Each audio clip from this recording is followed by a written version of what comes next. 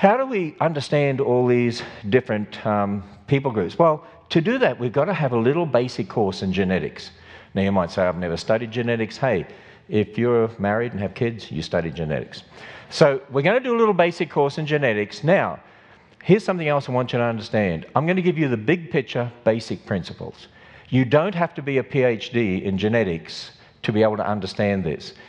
Now, if you've got a PhD in genetics, you'll know it's much more complex than this, but nonetheless, these are the basic principles. We have a PhD in molecular genetics on staff, Dr. Georgia Purdom. She uses the same diagrams I use to explain the big picture, because when you get the big picture, then you can grasp hold of what's going on, even if you're not a scientist or uh, have studied genetics. And so, to do that, we're going to start with Genesis 1, where it says that God made land animals according to their kind. In fact, 10 times we read that phrase, according to their kind, or after their kind, in Genesis chapter 1. And so we need to ask ourselves, what does that mean, according to their kind? It seems that each kind remains its own kind. And then we meet the word kind again in the English, translated from the Hebrew, in Genesis 6 when it's talking about two of each kind, seven pairs of some, but two of each kind of land animal went on board the ark. So we need to understand this word kind, and it's going to help us. One of the questions people ask is how could Noah get all the animals on the ark? When Bill Nye was on this stage debating me, one of the things he said was he mocked me for believing in Noah's ark. Noah couldn't fit the millions of species on the ark. The Bible doesn't say species went on the ark it uses a Hebrew word. In fact, the Hebrew word it uses is the word min. And we translate the word min as the word kind. One of the problems we've got is that in the Latin Vulgate, they use the word species, but the word species used to mean what we would say the word kind means, but basically the word species has been redefined, and so it becomes more complicated, but this is the way to basically understand it. We have a classification system today. It's an arbitrary system man has invented kingdom, phylum, class, order, family, genus, species. Now, what we would say is that the Hebrew word min, translated kind, really, in understanding how they define our modern classification system, is more at the family level of classification, not genus, not species. In most instances, it's at the family level. And let me explain to you how we came up with that. In fact, at, on the ark, on the first deck, when you get down to the bow end of the first deck, you'll see this cutaway model. And on the wall, you'll see this big sign. And it's good to have a look at that because our scientists worked for years doing research to determine how many kinds Noah would need on the ark. Actually, they've got their 1,400 animal kinds. We've actually overestimated. We think the number of kinds was less than a 1,000. But I'll, I'll share with you how they got that figure. If you take dogs, there's been a lot of work done on dogs. You've got lots of different species, 34 species of dogs dingoes, wolves, coyotes, jackal, fennec, foxes, domestic breeds, and so on.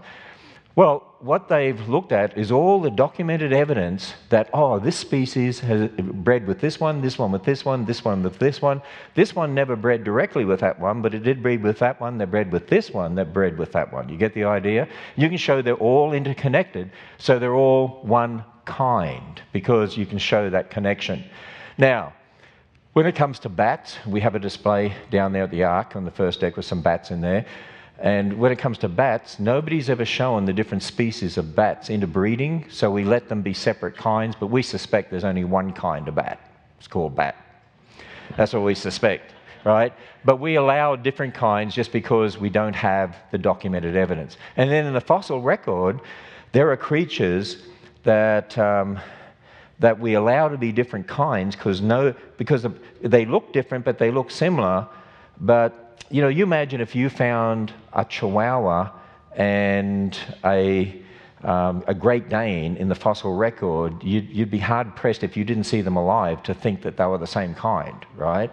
Well, there are creatures in the fossil record. The problem is you can't see them interbreed because they're dead.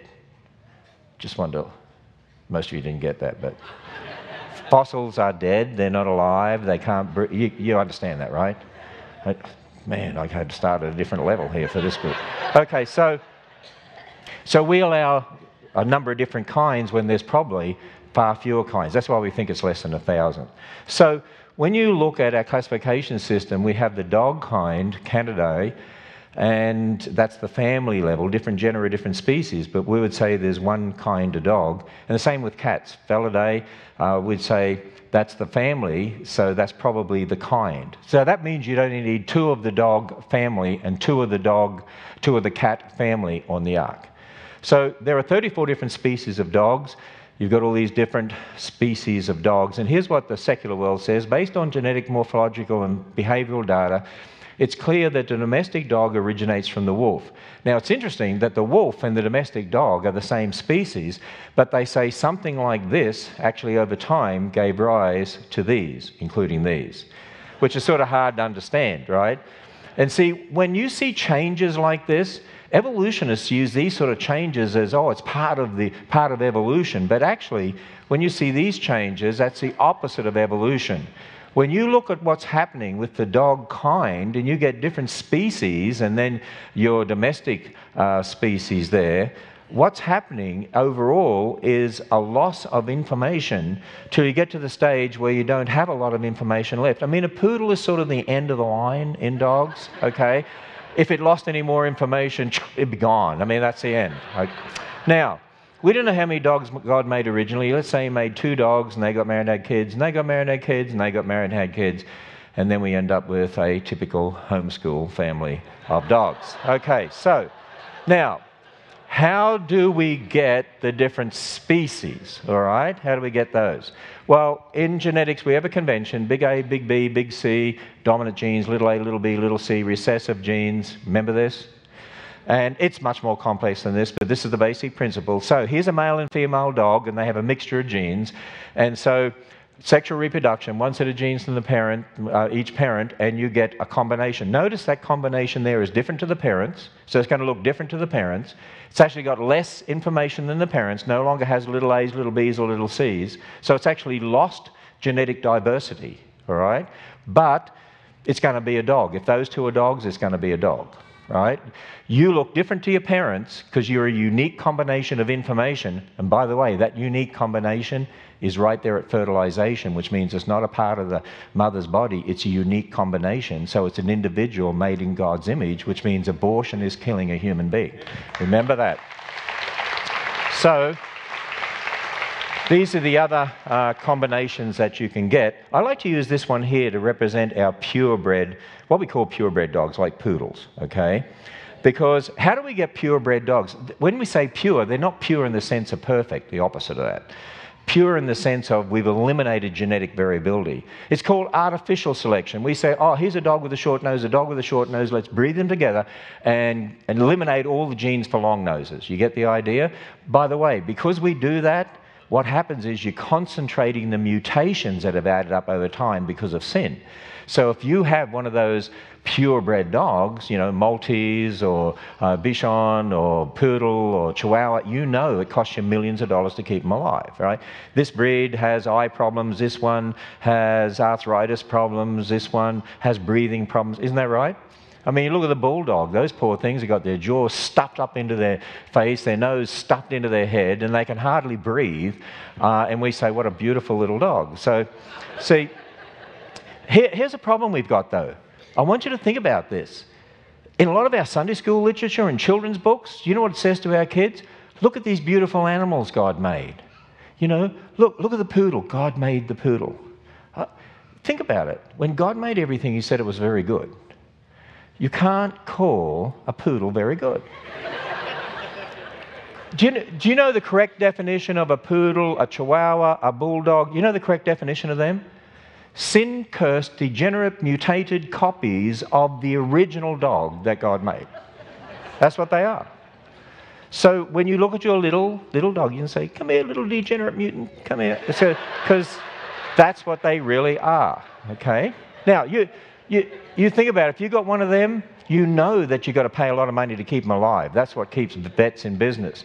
If you've got one of those mongrel dogs, in, it's a mixture of everything in the neighborhood, you can run over them with a truck and they'll get up and wave and off they go. So, now, and, and by the way, here's the problem. We tell kids, look at these animals God made, then they go to public school, which the majority of them do and they're told, Do you realize God didn't make them because they have changed? And, and, and these species have come into existence over time, and, and your dogs were bred in the last few hundred years, which means God didn't make them, and evolution's true, and then they get indoctrinated and brainwashed.